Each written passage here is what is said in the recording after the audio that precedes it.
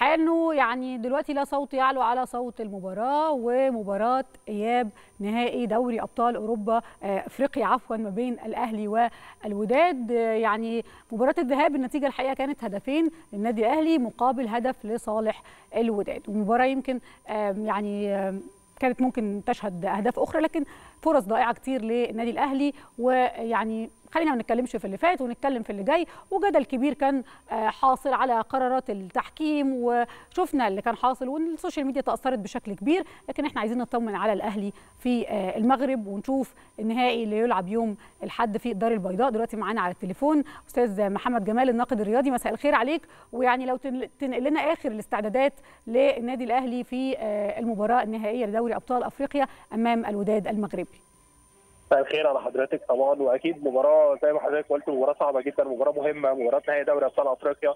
الأهلي بيتواجد للمباراه النهائيه للمرة الرابعة على التوالي. ده إنجاز كبير جدا جدا للكرة المصرية والنادي الأهلي. يمكن إنجاز كان حققه قبل كده النادي الأهلي. زي ما نقدر نقول دايما النادي الأهلي بيحقق حتى يعني بيحاول يكسر أرقام هو قبل كده حققها وصل ب 2005 ل 2008 بس كانت بشرة خير إن هو كان كسب خمسة وستة وخسر سبعة وفاز بثمانيه برضه السنة دي يمكن الأهلي كان فاز ب 20 21 وخسر 22 قدام الوداد والسنة دي 2023 يمكن بتيجي المباراة في صعوبتها إن مباراة الذهاب كنا بنأمل إن النادي الأهلي ما يدخلش مرمى أهداف ويمكن كانت النتيجة ماشية في صالحنا بهدفين وكنا كمان نقدر نسجل الهدف الثالث أو الرابع كمان لأن كانت حالة لعيبة النادي الأهلي كانت مميزة جدا. ولكن شاء قدر ان الوداد يسجل هدف طبعا الجمهور كان شكله يفرح يا أستاذ محمد في يعني المباراة. جدا جدا. بصراحة كانت الجماهير بشكل كويس جدا. النادي الأهلي جميل جدا في المباراة. كان أداؤه مميز جدا فنيا من مارسيل كولر. كان دارس الوداد بشكل كويس ولكن وتقدر يتعامل كمان مع الظروف في ظل إصابة محمد الشناوي. كان مصطفى شوبير حارس الشاب على ذكر الشناوي هو هيلعب المباراة النهائية ولا لأ؟ آخر آه إن شاء الله أساسي. مم. محمد الشناوي أساسي في تشكيلة النادي الأهلي. وهقول لك التشكيل كالعادة ولكن مم. يظل مباراة. يمكن جت أنا بشوف دايما إن حتى هدف الوداد ده إيجابي صالح النادي الأهلي لأنه يخليه دايما داخل برضه المباراة عنده تركيز إحنا بنحاول نشوفه إيجابي لكن يعني إن شاء الله يعني يكون داخلين عندهم حماس إنهم يحرزوا هدف من صحيح. هو زود التركيز أكتر كمان من إنك تخلصي هنا 2 0 أو 3 0 تبقى رايحة. ممكن فكة شوية ممكن بعد ضغوطات المباراة تدخل فيك هدف مبكر تقلب المباراة. ولكن دلوقتي الأهلي رايح اللقاء هو يعتبر متعادل. يعني فايز 2 1 يعني الوداد لو 1 0 يكسب البطولة. ولكن الأهلي بيلعب على إنه يسجل هدف في المغرب. لأنه لو سجل هدف هناك في مرمى الوداد صعب الأمور تماما على الفريق المغربي. عشان برضه أقول لك التشكيل اللي هيتلعب بيه إن شاء الله يوم الأحد هيكون مش بعيد خالص عن تشكيل الذهاب. هيكون في حراسه المرمى هيكون موجود محمد الشناوي. اللي يرجع تاني لحراسة مرمى النادي الأهلي. هيكون قدامه محمد هاني في مركز زير الأيمن. هيكون موجود ياسر إبراهيم محمد عبد المنعم وعلي معلول في مركز زير الأيسر.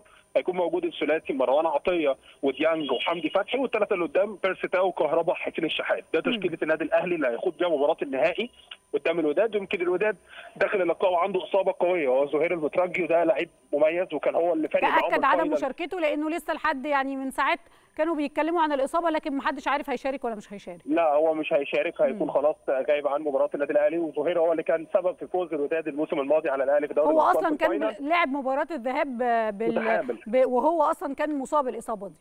بالظبط تحمل على نفسه فتظل مباراة صعبة. النهارده كان لعيبة النادي الأهلي في القاءات اعلاميه كان كله طبعا بيتكلم على الجماهير الكبير اللي هيكون من جانب لعيبة النادي الوداد. ولكن لعيبة النادي الأهلي اتكلمت في كلام أنا بشوفه منطقي جدا إن طبيعي جدا يكون ضغط ده final دوري أبطال أفريقيا. إحنا عندنا بقى من الخبرات دلوقتي كلاعبين في النادي الأهلي إن ما بنتأثرش بحضور جماهيري كبير لأن خلاص شفنا الموضوع ده وعشناه لمدة أربع سنين على التوالي. وخلي بالك الجيل الحالي ده أربع سنين ورا بعض موجود في ال final بجانب كمان 2017 و2018 كان في مجموعة كبيرة منه موجودة كمان في ظل لما النادي الأهلي وصل للمباراه النهائية مرتين قدام الترجي والوداد وخسروا فلعيبة النادي الأهلي موجودة حاليا في لعيبة منها كتير عاشت ست نهائي دوري أبطال أفريقيا وده رقم كبير جدا جدا جدا لأي نادي في أفريقيا ما بيحققوش غير النادي الأهلي. إن شاء الله بنتمنى كل التوفيق للنادي الأهلي المصري يرجع إن شاء الله بلقب أفريقيا. إحنا بنشكرك شكرا جزيلا أستاذ محمد جمال الناقد الرياضي. شكرا جزيلا على وجود حضرتك معانا.